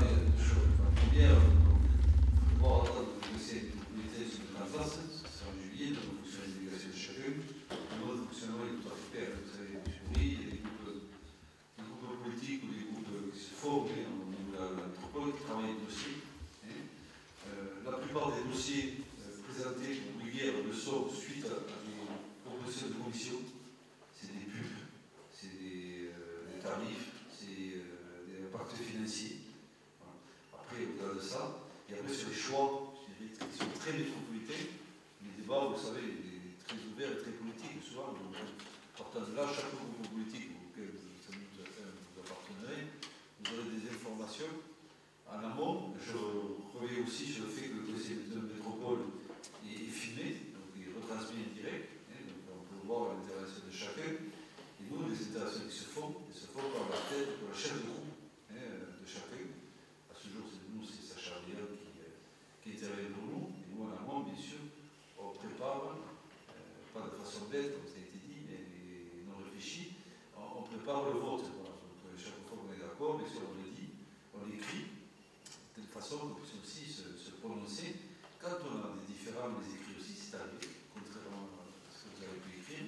Mais on a eu des différends qui ont été discutés et pour avoir une position d'ensemble qui puisse être faite et proposée au président de l'entreprise. Voilà, tout ce travail se fait en, en partenariat. Après, moi, ce qu'on avait essayé de faire à la suite de, de, de, demande de M. Ramin, c'est faire un retour sur les conseils communautaires euh, qui il y en a, il y en a 4 ou 5 par an. hein, donc, il y a- Après, très honnêtement, hein, le plus important, c'est aussi le travail des commissions. C'est-à-dire, Voilà, c'est souvent les adjoints qui euh, défendent les valeurs, de, les demandes de Bruyère, que ce soit sur les modes doux, sur euh, le transport, sur euh, les économies d'énergie. Tous ces secteurs-là se, se- se travailler en commission. Le conseil communautaire, c'est un peu comme le conseil municipal, ne fait que valider d'une façon assez rapide et autoritaire parfois des décisions qui se serrent. Voilà. Donc, il faudrait juste dire le travail de commission avec les adjoints de secteur, ce sont eux qui. Pour le conseil communautaire, il y a quatre étapes. On a la réunion des maires, on a un conseil qui, suit une conférence, la même journée. On a un travail de commission, de présider celle des sports. Il y a trois commissions avant pour faire un- une délibération qui est ensuite proposée au conseil métropolitain. Vous voyez les étapes. Entre-temps, il y a des sous-étapes de travail. Donc, ce que je veux dire, c'est que tout est quand même réfléchi. Moi, ce que je peux tout simplement je dirais de façon euh, spontanée, c'est un retour sur des sujets qui, qui pourraient vous interpeller. Vous parlez de but, le but et le budget. On peut se faire, c'est pourquoi le Conseil d'État a invalidé euh, le truc. Voilà. Euh, moi, j'ai travaillé aussi avec Martine Croquette, monsieur Combe le connaît très bien, sur notre mandat au début dans une autre dimension. Après, voilà, la vie est faite de choix. Ces choix-là, on les partage pas. Mais après, le, budget de la métropole, n'est pas élastique. Forcément, il y a des choix qui sont faits qui sont aussi parfois financiers ou des choix de, réseau. apporter des réponses sur la façon dont la métropole fonctionne. C'est pas ça l'attente de notre question. La réponse attendue, c'est comment au conseil municipal, non pas a posteriori en termes d'information sur ce qui s'est décidé à la métropole, mais par rapport à des questions qui concernent Bruyères, on ne peut pas en amont des décisions qui pourront être prises par la suite euh, à la métropole, avoir euh, la possibilité euh, d'en débattre en conseil municipal. C'est ça qui nous paraît intéressant et c'est pour ça qu'on pose la question, pour savoir si vous vous engagez dans ce sens-là, donc en amont d'un projet qui pourrait concerner la métropole qui a les compétences dans un certain nombre de domaines, et donc, euh, et non pas simplement être euh, informé de décisions qui ont été prises, parce qu'après les modalités de fonctionnement de la métropole, on a compris comment ça fonctionne, que ce soit celle de Toulouse ou d'autres grandes ça, ce qu'on peut très bien faire, c'est au travers de ce que vous avez fait là, euh, solliciter euh, une question de débat sur un sujet pour passer quatre, parce qu'on ne va pas faire des, sujets au conseil municipal de trois heures de temps, hein, c'est pas pour l'objectif, mais peut-être euh, à chaque conseil, un ou deux sujets importants, métropolitains, qui mériteraient d'avoir un débat de 10 minutes, quart d'heure, mais entre, entre votre position et la nôtre, de façon à avoir votre sentiment.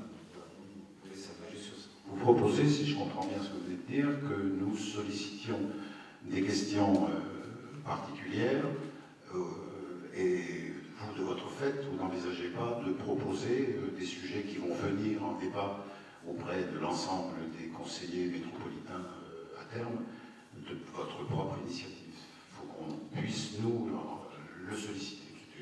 Par rapport à la façon de fonctionner que je m'interroge. Si on un sujet qui vous ennuie, vous ennuyer, je vienne de vous. Voilà, on, ça, on n'en sait pas.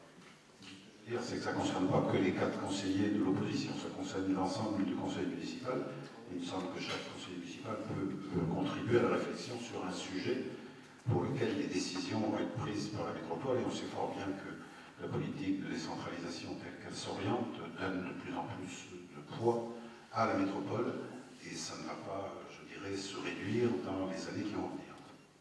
Écoutez, on va réfléchir, savez très bien, de toute façon, votre groupe et se réunissent aussi à bord du conseil municipal, donc les informations aussi elles sont données. On fait des réunions euh, dans un bureau, on fait aussi des réunions, euh, un peu plus nombreux sur des sujets. Voilà, les informations passent. Donc, euh, si vous les sollicitez, on peut parler. Après, on verra le fonctionnement, le développer. Tout dépend de votre position, de la façon dont le sujet est abordé et comment c'est abordé. va- va je retiens votre réponse ne manquerons pas de vous solliciter sur la métropole Parce que le sujet est régulièrement. voilà, et je dirais, est bien mené, sans, façon réfléchie, voilà, on peut passer 5 ou 10 minutes après chaque conseil municipal en amont pour que vous puissiez vous, prononcer, le cas sur euh, un événement métropolitain qui pourrait être inscrit au budget ou autre. Après, on ne pourra pas rentrer dans le personnel, on ne pourra pas rentrer dans les syndicats, dans les trucs, que les compétences soient aussi euh, gérées et euh, qu'il soit réfléchi.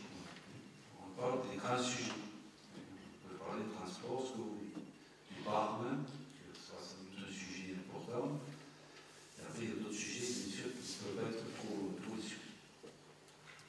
Bien, est-ce qu'on a répondu à toutes vos questions, M. Bouy Parce que la première faisait partie euh, de la façon dont les adjoints euh, fonctionneront, hein, vont fonctionner, en fonction de la sensibilité de chacun, en fonction de la volonté aussi des, des élus qui, qui forment les commissions. La première question, c'est nature. hein. Elle concerne euh, la vie des écoles depuis deux semaines. Et nous, demandions une information, plus particulièrement en ce qui concerne le temps périscolaire et la restauration, quant aux évolutions pendant ces deux semaines et euh, les semaines à venir, quant à ce retour euh, en- dans le cadre de la réouverture de, de l'école. Donc, que l'on puisse avoir une information aujourd'hui ou un prochain conseil qui, je l'espère, ne sera pas dans deux mois, hein, euh, qui permettrait, par rapport à la situation euh, d'avoir des éléments. Et on renouvelle la demande que l'opposition de 2014-2020 a pu faire pendant la période victoire euh, de notre disponibilité et de notre intérêt à pouvoir participer dans la réflexion qu'elle a mise en œuvre ce pourquoi nous n'avons pas du tout eu de réponse de votre part pendant cette période, au moins les deux élus, les trois élus de, de l'ancien conseil. Et donc nous renouvelons notre disponibilité pour pouvoir euh, à cela. Je vais laisser le souhait à, à la chose du secteur. Euh, c'est pas la parole. Moi, je, voulais quand même féliciter tout le travail qui a été fait. Euh, Peut-être la concertation comme vous le souhaitiez. Était dans un caractère d'urgence. Ah, Nous, on est passé trois jours euh, pratiquement au téléphone à, ne que ça. Voilà, je pense que. Non, je, aussi, ça permet aussi de relativiser et de dire aussi le, le travail qui est fait, qui n'est pas forcément vu, qui a été retracé par notre directrice, et vous avez été copie, hein, j'ai validé le, le- mail qui, qui a été fait à deux reprises, reprenant un petit peu le déroulement des opérations pour permettre. Ensuite, pour répondre à votre question, je sais faire, ça dépend aussi du président que j'ai derrière moi, parce que nous, forcément, on ne fait qu'appliquer les règles de l'État. Donc, ce qu'on pouvait faire, c'est fermer les écoles. On n'a pas voulu, parce des classes prioritaires, parce que les enfants ont besoin d'aller à l'école aussi. Mon jeune petit-fils, il en a besoin, je, je sais, alors pas de demain ou après-demain. Voilà, le sentiment vraiment que c'est nécessaire. Donc, on a tout fait pour que ces enfants puissent euh, accéder aux écoles pour le bien fondé, mais mais en prenant toutes les mesures de précaution euh, souhaitées, voulues et indispensables. Le, le point, de nous de remettre en cause quoi que ce soit, le travail qui a été fait a été du bon travail. Et euh, la question, elle porte sur la situation aujourd'hui et dans les ou semaines qui viennent, dans la prévision d'une étape suivante à partir du 2 juin qui euh, va certainement amener à avoir euh, une autre configuration pour l'accueil de l'ensemble des élèves euh, de tous les niveaux scolaires. Et donc, c'était simplement pour avoir une information à l'occasion de ce conseil municipal. Moi, je remercie Camille Tourlan pour les informations qu'elle nous a communiquées régulièrement, qui ont constitué une réponse en termes d'information. Sur l'autre volet qui était de, ne pas nous solliciter particulièrement comme nous avez pu solliciter les conseillers municipaux, et je pense aux conseillers municipaux de 2014-2020, bon, ces conseillers municipaux, dont euh, Maurice Combe euh, en fait partie, ne peuvent que regretter le fait qu'il n'ait pas été euh, sollicité euh, ou associé, euh, voire les nouveaux élus auraient pu aussi prêter main forte. Mais euh, nous n'avons pas eu de, de réponse à nos propositions de concours pour aider. Une forme d'exclusion. Ça va être ça. Euh, n'importe quoi. Euh, alors, je vais vous expliquer, puisque vous voulez des explications. Euh, vous m'entendez ou pas là Parce que je mets ça dessus, parce que tout le monde apparaît dessus. Euh, alors, euh, pour répondre à votre question sur euh, déjà le moyen de communication, en temps de crise, c'est mieux d'avoir un seul mode de communication. Le mode de communication choisi, c'était effectivement le mail de la DGS. Voilà. Donc c'est pour ça que moi, je n'ai pas à répondre ou quoi que ce soit. Tout était fait par le mail envoyé par la DGS. Une seule voix en temps de crise, euh, c'est très bien, c'est comme ça que ça se passe. Euh, solliciter, alors sur la sollicitation, je ne vais pas me mettre là-dessus, parce qu'effectivement, euh, comme vous ne savez pas comment ça s'est passé, effectivement, vous pouvez croire que vous avez été exclu de tout ça, alors pas du tout. On a essayé de nager et, pas de couler avec les informations contradictoires qui arrivaient de partout. Aujourd'hui, euh, très clairement, les décisions du lundi n'étaient pas celles du vendredi, voire même celles du mardi. Parce qu'il y avait en permanence euh, des informations contradictoires entre, euh, on va dire, le Premier ministre et parfois le ministère de l'Éducation nationale. Donc très compliqué à mettre en place. On passait des heures au téléphone parce que voilà, la situation était telle que effectivement le téléphone était privilégié, les vidéos aussi. On passait du temps avec les équipes, les enseignants, euh, tout ça pour définir une manière d'organiser effectivement la reprise euh, qui était démontée deux jours après. Donc très très compliqué et en plus, très honnêtement, je pense que c'est une organisation qui aurait mérité un mois, voire deux mois. On l'a fait en une semaine. Euh, donc là, euh, tout le monde a été sur le pont, corps enseignant comme service technique, comme corps mairie. Donc ça voilà. Donc là, très clairement, réunir qui que ce soit, c'était impossible. Et le mode de communication choisi est encore une fois la DGS. Euh, pour répondre à vos questions, alors aujourd'hui vous demandez un bilan. Euh, on ne va pas faire un bilan parce qu'effectivement il y a eu six jours. Euh, ces deux semaines, il y a eu vraiment six jours de classe. Donc pas de bilan, ce qu'on peut dire c'est que tout se passe bien. Voilà, on a de la chance aussi. Il y a d'autres écoles qui ont eu des classes qui ont été fermées. Nous aujourd'hui, parce qu'on est assez, on n'est pas assez, on est très strict sur notre organisation au niveau de la mairie. Euh, Philippe parlait tout à l'heure de, bulles, pour éviter effectivement que les enfants euh, se croisent ou aillent interagir avec les autres. Et nous, on était vigilants dessus, les enseignants aussi. Donc pour l'instant, ça ne protégera peut-être pas jusqu'au mois de juillet, mais pour l'instant, on va dire que tout se passe bien. Sur le cantine, pour l'instant, on a une cantine ouverte pour les enfants de grande section et un repas froid, euh, pas de repas froid, pardon, pour, euh, pas de repas du coup, euh, je recommence. On a, on a un repas froid pour les maternelles et qui est fait par la cantine, donc les parents n'ont pas besoin de l'organiser. Par contre, pour l'élémentaire, c'est les parents qui amènent le repas, qui préparent le repas pour les enfants, en sachant qu'à l'élémentaire, ils sont là deux jours sur deux. Enfin, deux jours, deux jours. Ils alternent. Donc, effectivement, les parents le proposent deux jours.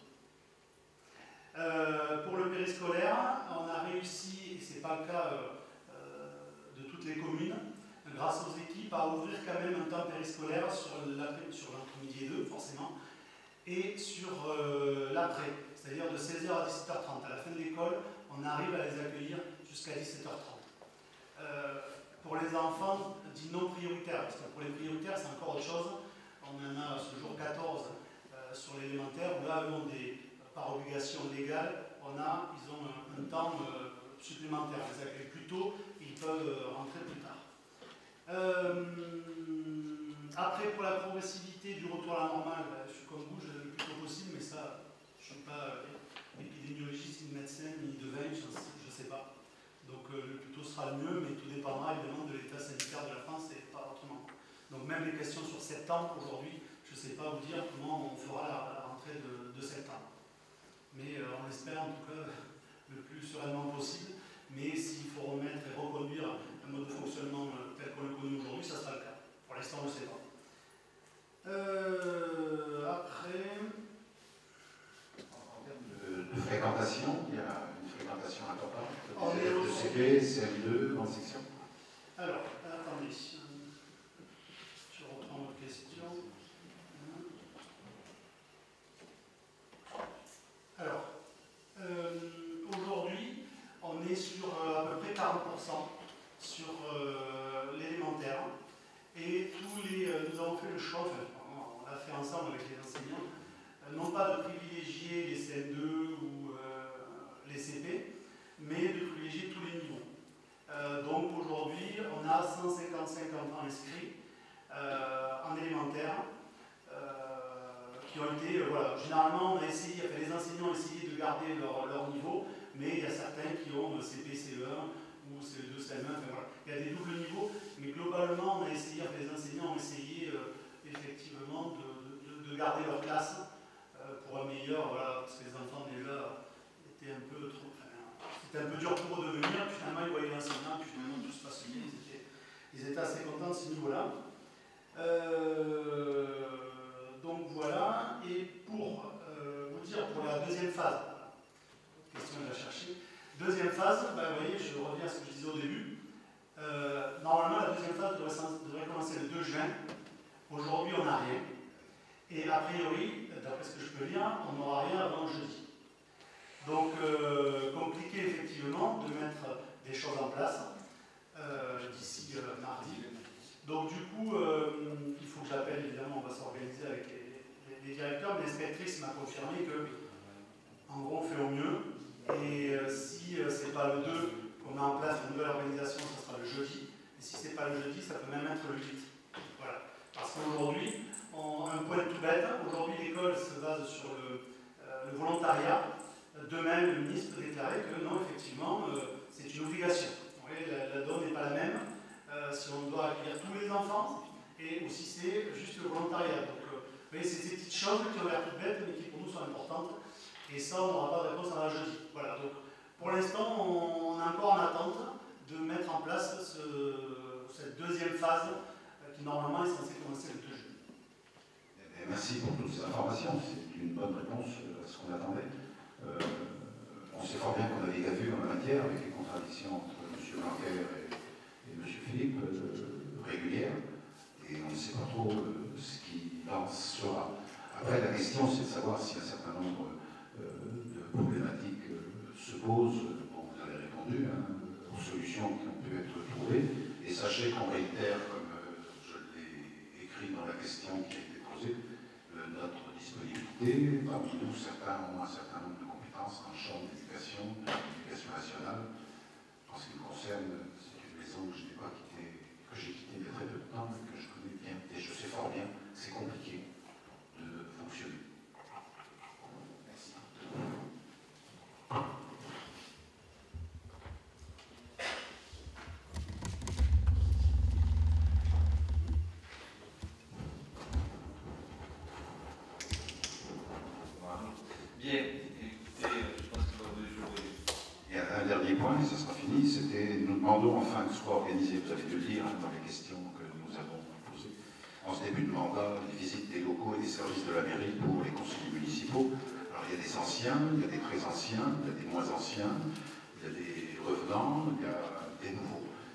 semblerait important qu'on ait une connaissance euh, à la fois euh, des locaux, des personnels, et que l'on puisse euh, avoir une bonne vision de tout cela. Donc j'espère que cette demande pourra être satisfaite.